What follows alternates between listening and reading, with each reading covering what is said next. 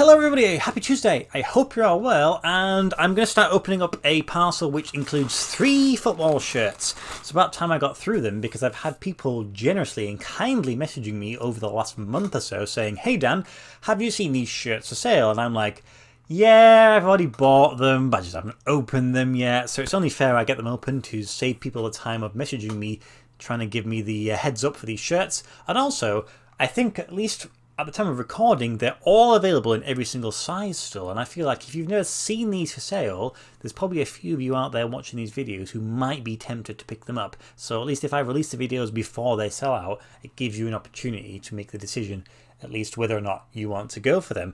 So I'm just going to open it up, pull out one shirt as random, and then that will be it. And I will continue to do that until all three shirts have been shown. No real crazy shirts this time, no expensive ones, but still really cool shirt. Every shirt has its own story, and these shirts come from sort of a place in the world that we don't really add too many from. So, without further ado, let's get this one open and see what is going to be the number top shirt. Now, I think they have tags attached. That was only my slight worry. I've been feeling the uh, parcel, and I can at least feel one tag, so that's third of the shirts.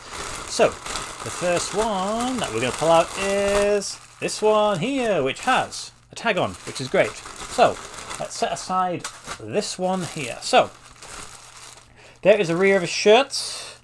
You have a white and red effort. And then you bring it round here. And we have more red and white. But it is, if you can probably tell, an Umbro shirt. So let's get this opened up. I was going to try and do it professionally, but let's just absolutely tear it apart. There we go. Throw that away. Oh, I can feel some paper. I'll get rid of you. Right then. So, there is the rear of the shirt.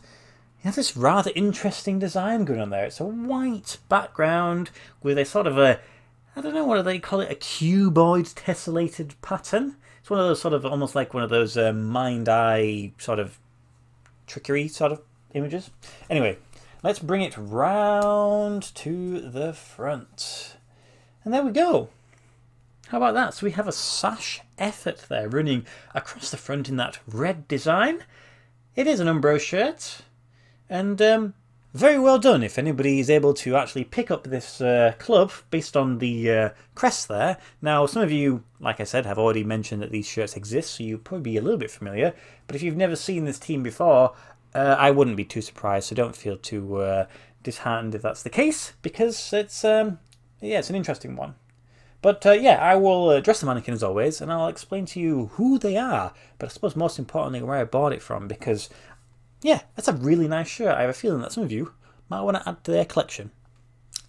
Okay then, there is the shirt, and as always, when it comes to clubs from this part of the world, there is a pronunciation disclaimer, because um, I have no real idea how to properly pronounce this, though I don't think many of you either will, so I can sort of say whatever I think, and you'll just have to stick. So the club is Fasil Kenema FC, and it's their home shirt from this season, 2022-2023, and it was picked up from M&M Direct, which obviously means the other two shirts were also from M&M Direct, and the price was of a massive £19.99. We're going nowhere near the £100 barrier right today, and I think £19.99, I always say anything less than £20 is a great deal for a football shirt, especially when it comes from Africa. But which team and which country is it specifically? It is Ethiopia, which I think probably a lot of you watching this may not have one from that country. I already had one from Ethiopia, but I was never going to turn down an opportunity to grab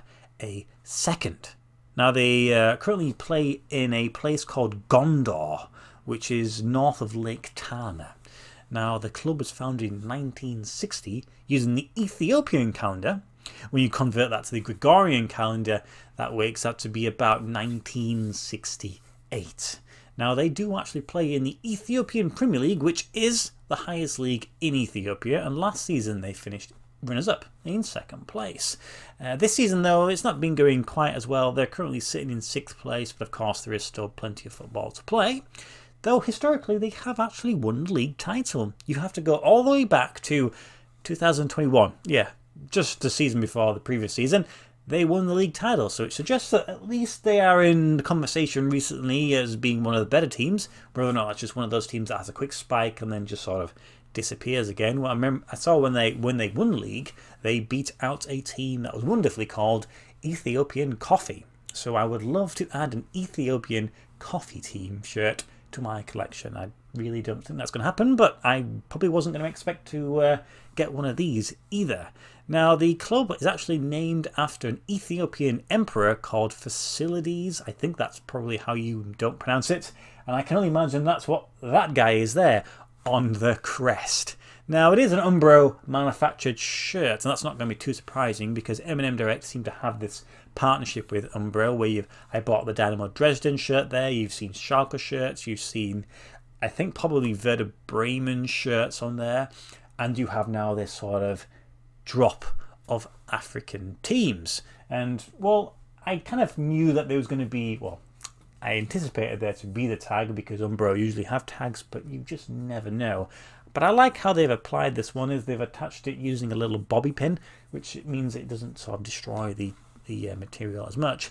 Now when it comes to the actual material, it kind of follows the same sort of pattern as a lot of my other Umbro African shirts. It's a very sort of cost effective way of doing the shirt with everything sort of screen printed onto the shirt, apart from the crest and apart from the Umbro logo, which have been embroidered on, which you don't see happening too frequently. Usually everything is just screen printed on, but that's just the sponsors in this instance. So this one actually reminds me of a Southampton shirt, you know, with some of the, the white and the red and this little sash going across the front. And you know what, it's quite smart. It's, it's a simple, cost-effective shirt, and I think it's great just to, if you're looking to boost up your numbers with something a little bit interesting and unique, I think this is definitely one for you. Whether or not M&M Direct have hundreds and hundreds of, of them in stock, I don't know. But um, at some point they will sell out and probably odds are they are not going to find too many of them floating around after that. So if you are interested in grabbing an Ethiopian shirt, then this is definitely, certainly one for you.